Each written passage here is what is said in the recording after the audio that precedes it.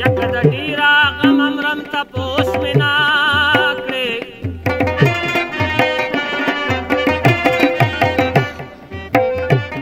چې پروخ شي دا غم جن بیمار پسا